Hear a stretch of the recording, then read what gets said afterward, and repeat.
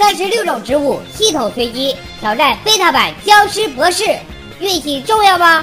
手速重要吗？你想玩这个模式吗？